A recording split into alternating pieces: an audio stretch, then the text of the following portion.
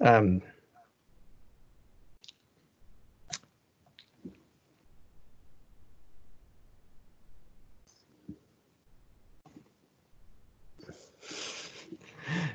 sorry, technical difficulties. Uh, I just had to uh, turn off the uh, uh, speaker there so that the sound wouldn't echo. But anyways, um, so once again, hello. it's been a while. Um, let's start the infrared spectroscopy. Now, um, infrared spectroscopy is a technique. Uh, it's a method um, to detect a type of functional group uh, in the molecule. So if you have a sample, let's say, and if you want to identify what kind of sample it is, so let's say substance. So you guys have probably have learned functional groups so far. So let's say you are to identify a, a let's say just a single compound, but you don't know what the compound is. Let's say you have an ester. So if you have an ester, then um, of course, you know, there are chemical ways to tell there's a presence of ester, but also there are an analytical way to do it. And one of the analytical ways to do it is to use infrared spectrometer. So in this case, you look for a particular functional group. Um, so by using an infrared light. So for example, see if you remember ester, again, I'm going back to the, um, the actual uh, structure in a minute, but let's say ester uh, is uh, comprised of carbonyl group and OR group.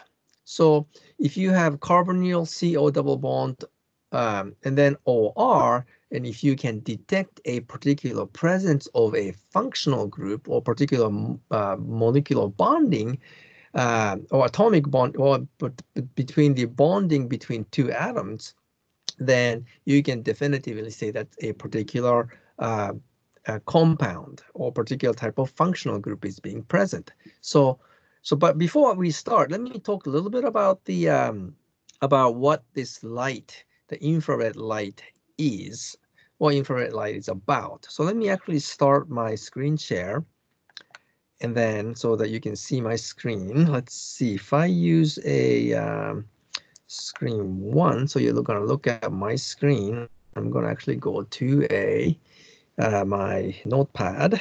Here we go. It just came up.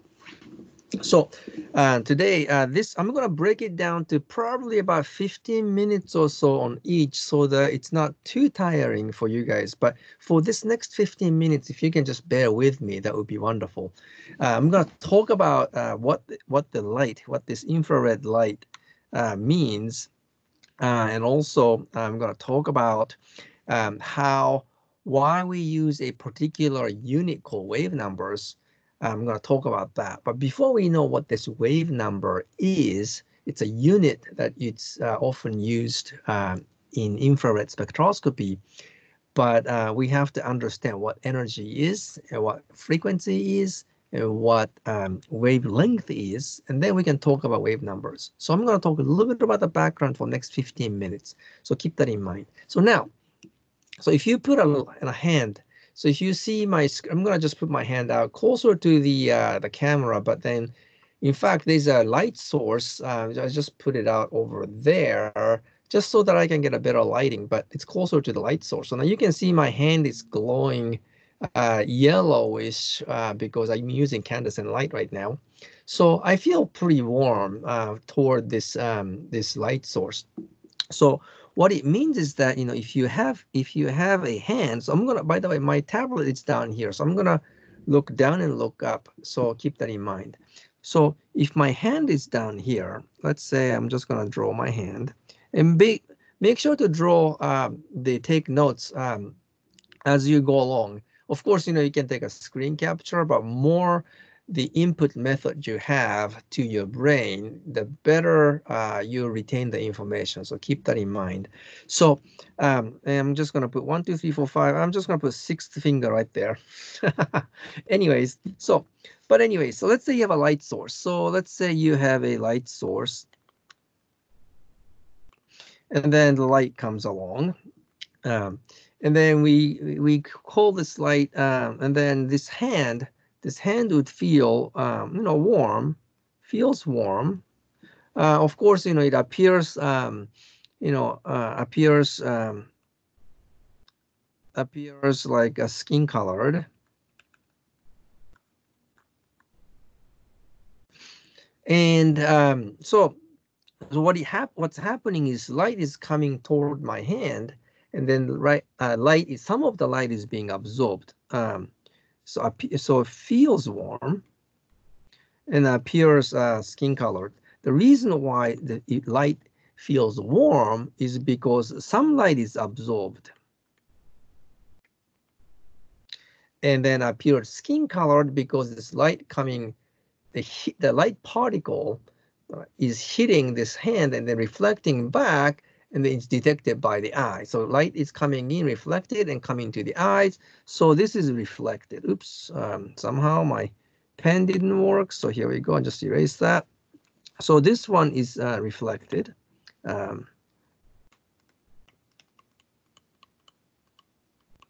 so so now we're going to look at this particular the light absorption, but before we do, um, uh, let me talk uh, a little bit about the uh, you know what the light is. So light, what is light? So light um, is considered um, light has you know sort of like two um, features. Light, I say light particle. So what we call photon and so light act like a particle as well as like a wave. So think of a particle like just moving along, you know, like a waveform. So uh, let's say, you know, in terms of wave, let's say I'm just going to draw a wave. So let's like a sine wave or something like that. Right. So let's say light particles moving like up and down and then just moving toward. So it's like light is going like this and then it's moving along. Right. So the node to node height, is a node to node so distance. So between the, you know, up node, so node here and node here.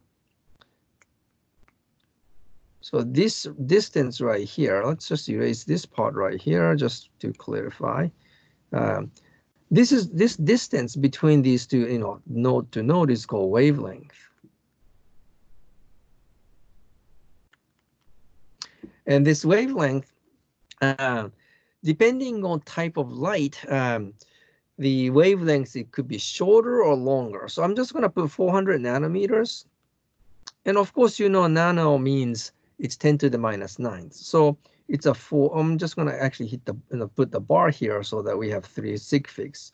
So 400, all right, nanometers means it's 10 times 10 to the uh, 10 to the minus 9th meters. So you know, it's it's a one billionth, or in this case, you know, 400 times um, 10 to the minus nine. So there there are uh, nine zeros in the, after the decimal place, but so it's very short wave. Um, typical um, typical um, uh, wave that you can actually detect is somewhere between 400 nanometers to 700 nanometers. So so if you have 400 nanometer light, so if you have 400 nanometer light, you have 700 nanometer light,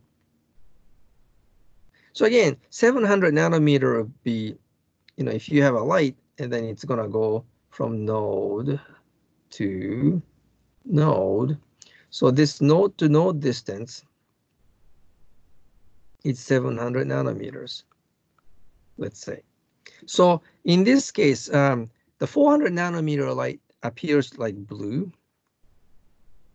A 700 nanometer light appears uh, red. So in between, you have, you know, somewhere along the way, you have blue, um, and uh, or you have, in fact, you have more like um, violet. Is 400. Let's make that into violet, and you have blue. And then green. And yellow and orange and red. So green is roughly about, you know, 550 nanometers. Sorry about my handwriting, but, you know, it doesn't look clean. So let me erase this and rewrite this. Right. So, so again, the the longer the wavelength, you know, it's you know more red it is in terms of visible color range. Now, infrared light, uh, be, it's beyond the 700 nanometers, so let's call this 700 nanometers, and then by violet is 400 nanometers. So beyond 700 nanometers, that's infrared light. So IR goes beyond 700 nanometers. Okay, so so far so good. So now, so question is, so what is this light? So this, um, the longer the wavelength, the smaller the energy, and small, shorter the wavelengths, higher the energy. So when you talk about light, light carries certain amount of energy.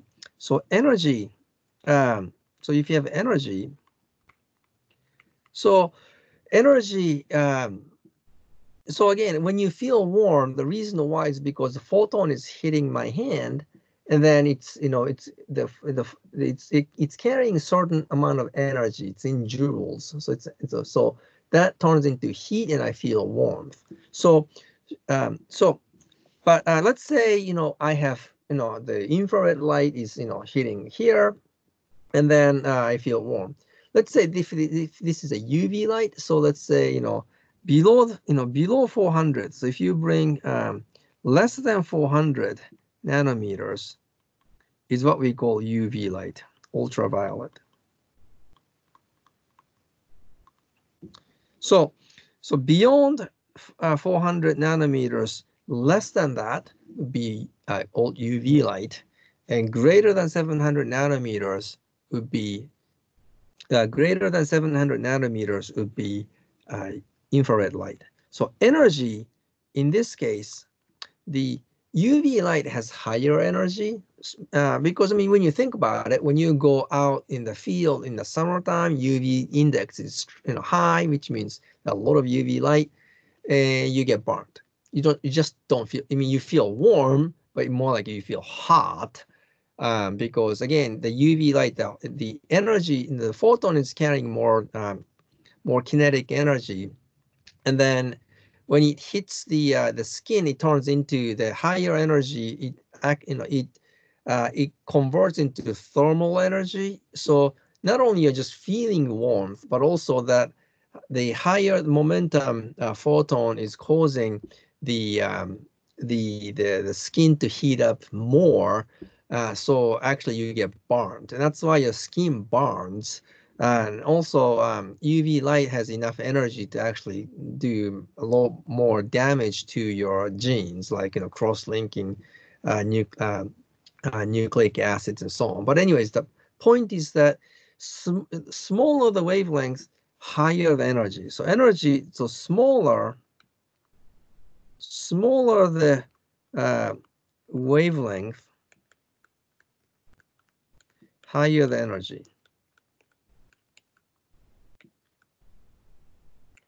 which is it's kind of like inverse, like in inversely intuitive, so to speak, because like smaller the wavelength and then uh, higher the energy. So it's not intuitive. So one of the way to deal with um, the uh, the energy being consistent, like higher the energy, and you want to use a unit that is consistent, you know, it's going to the same direction. And that's why we use wave numbers. So there's a relationship between um, between wavelength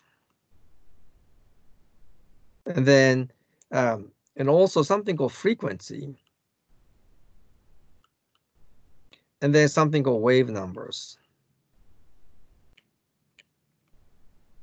And we're going to come back to this. So, so light um, can carry a can be expressed in three ways, either wavelength, frequency, or uh, wave numbers.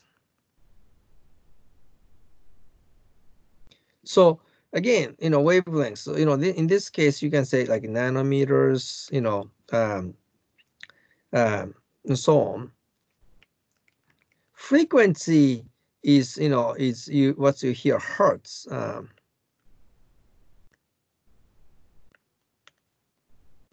Uh, and the wave numbers, it's going to be in the centimeter to the minus force. I'm going to talk about the, uh, the, the, relationship uh, among these three things uh, in the next video. So um, please stay tuned. And then um, if you can still focus, uh, please continue to the next video. If not, I'll see you in the next video.